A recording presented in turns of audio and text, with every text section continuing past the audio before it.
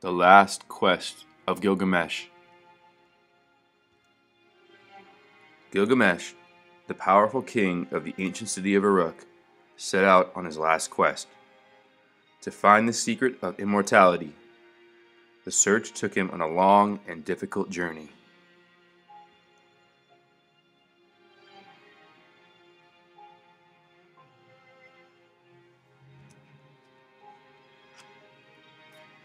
At the mouth of a river, at the end of the earth, a man lies, near death. Could this be Gilgamesh, the all powerful king of Uruk, loved by his people, famous throughout the ancient world for the magnificent wall he had built around his city? What has brought him to this desperate state in this lonely place? It was the fear of death. Death had taken his dearest friend, Enkidu. Earlier, it had taken the beautiful Shamhat, whom they both loved. As Gilgamesh watched their spirits fly off as birds, he resolved to get rid of death before it took him from his people. His last quest would be to find the secret of immortality. He had searched far and found nothing. Now, as he lay exhausted, he heard a familiar voice and opened his eyes to see a bird. The spirit of Shamhat had returned to him. Don't give up, Gilgamesh, she urged. Look, there, between those peaks of Mashu Mountain, the sun god goes down to sleep. By day he sees everything. He knows where immortality lies. Rise up and follow his path. Gilgamesh called on strength he did not know he had and got up to continue his search. The mountain was steep and he could not keep up. The sun went down and darkness fell. The moon cast eerie shadows. Jagged stones tore at his clothes and beasts attacked him. He fought them off and pressed on, determined to catch up with the sun. As he came near the top of the mountain, he heard a small, desperate cry for help. A lion cub had fallen off the cliff. Gilgamesh reached down and rescued the little animal, as Enkidu had once saved him from falling off the city wall. Two giant scorpions screamed, How dare you come here? We guard the kingdom of the sun. Go back if you want to live. Gilgamesh faced them defiantly. I have come to find the sun god. Let us pass, he ordered. The scorpions were amazed at the courage of Gilgamesh. We will help you and your little friend. They lowered Gilgamesh and the lion cub into a deep abyss. Find the light and follow it. Gilgamesh was in a freezing tunnel of terrifying creatures. He hugged the frightened cub close. After long hours of wandering in the dark, he finally saw a ray of light ahead and moved toward it. Gilgamesh came out into brilliant sunshine. It was the garden of the sun god. It was paradise. Never did leaves sparkle so like jewels, flowers give off such perfumes, animals appear so gentle. Why not rest here? The sun god offered. But Gilgamesh refused. I must find immortality. Help me. If the, the only human who knows that secret is not is Utnapishtim, the son of the sun god said, I will lead you to him. Gilgamesh followed the sun as it led him across the burning sands of the desert. The lion cub collapsed from the heat. Gilgamesh lifted him gently onto his back and kept going. Half blinded by the dust, longing for a drink of water, he struggled on, dragging his feet in the sand.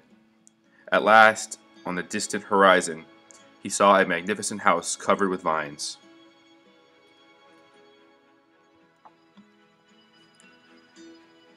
He reached it, exhausted. At the door, a beautiful woman looked with horror at the ragged stranger. I am no beggar, Gilgamesh said. I am a king. I have come to find Utnapishtim and immortality. You can't reach him, the woman said. He lives on an island protected by the waters of death. Give up the search. Stay with me. I am Siduri. I make wine for the gods. Drink, dance, and be happy. I have come through too much to give up now, Gilgamesh said. Help me, lend me your boat. Only the sun god can cross those deadly waters, Siduri warned. They destroy every oar they touch. Determined, Gilgamesh went into the forest. There, He chopped a 120 poles and set out. He reached the deadly part of the sea. Pole after pole was swallowed, leaving only stumps in his hands. The waters raged wildly. Gilgamesh pushed on, throwing away each stump and grabbing a new pole. Around him floated the bones of creatures that had been devoured by the waters of death. The skies darkened and a fierce wind blew up as his last pole was eaten away.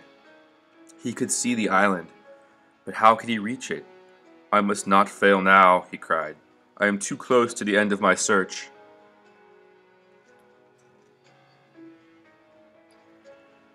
In a last desperate attempt, he took off his torn shirt and raised it to the wind to make a sail. Utnapishtim watched, amazed, as the boat reached shore. Who are you to come here, God or man? I am Gilgamesh, king of Uruk, came the proud reply. I come to ask the secret of immortality.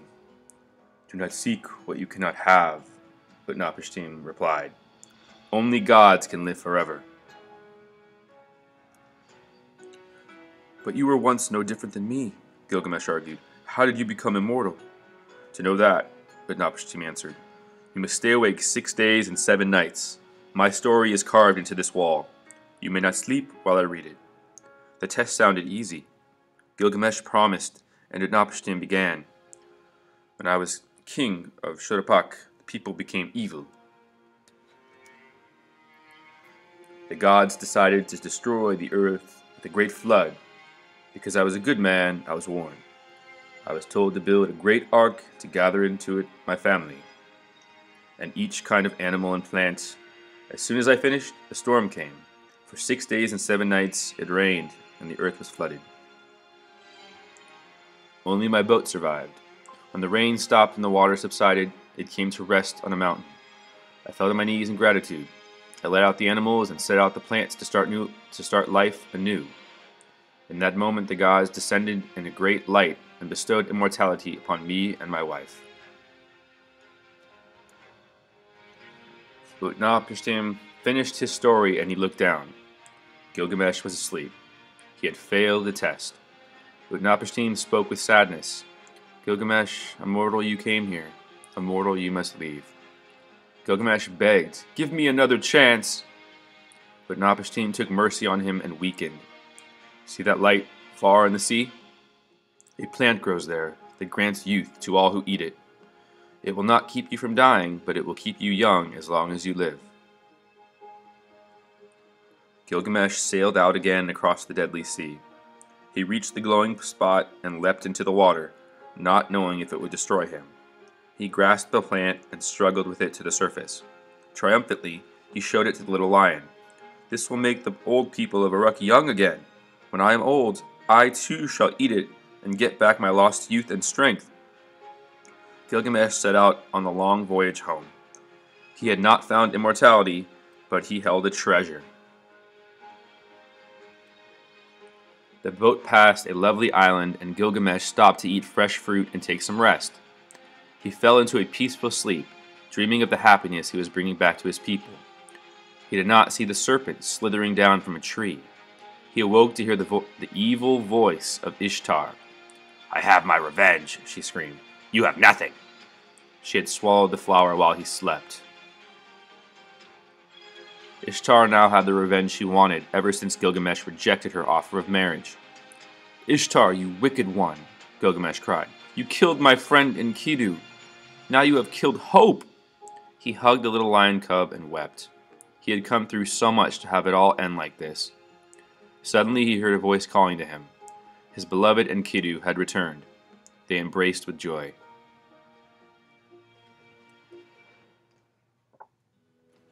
Shamhat sent me from the underworld to help you, Enkidu explained. Sit on my back with your little lion. I have something to show you. Together they flew over the rivers of Sumer, as far as the city of Uruk. Gilgamesh saw his kingdom from above for the first time. Its great temples, its fine houses, its beautiful gardens, and, most impressive, the majestic wall he had built around it all.